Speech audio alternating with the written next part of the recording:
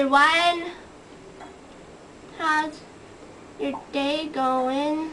My brother Dearest has arrived from um, Google Place and we are just having buckets of fun again. I'm at Comic Con. Should I go in?